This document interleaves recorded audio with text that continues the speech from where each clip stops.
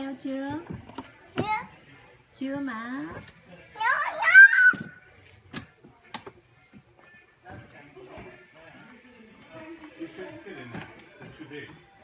This is one,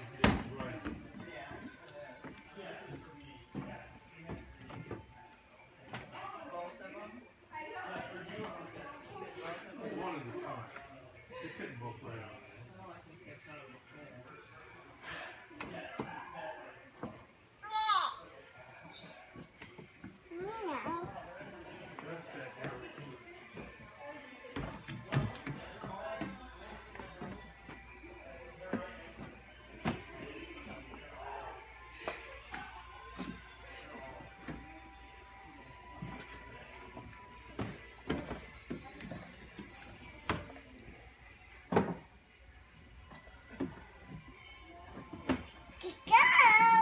Let's go.